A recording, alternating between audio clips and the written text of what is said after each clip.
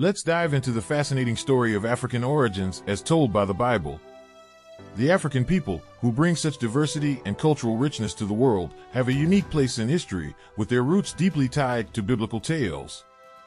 First off, let's clear up a common misunderstanding.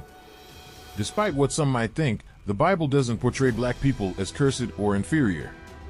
In fact, it offers some interesting insights into their family tree, going back to Noah's son named Ham. Now, Ham is a big deal in this story. He's considered the forefather of African and black peoples.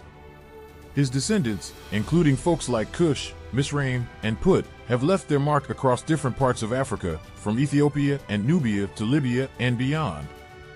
The Bible often mentions Cush, connecting it to Ethiopia and the land of darkness, strengthening the link between Ham's family and African peoples. Let's talk about this so-called curse of Ham.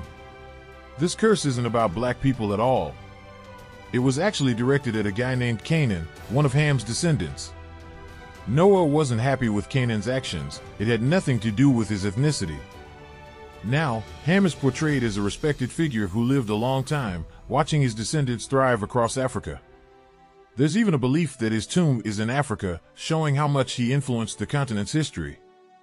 Digging a bit deeper into the Book of Jubilees, we find out that Ham wasn't thrilled with Canaan settling in what we now know as Israel. This family disagreement highlights the difference between Canaan's actions and the broader Hamite family. In a nutshell, the Bible gives us a nuanced picture of Ham and his descendants, emphasizing their important role in shaping Africa. And here's the key takeaway there's no biblical curse on black people.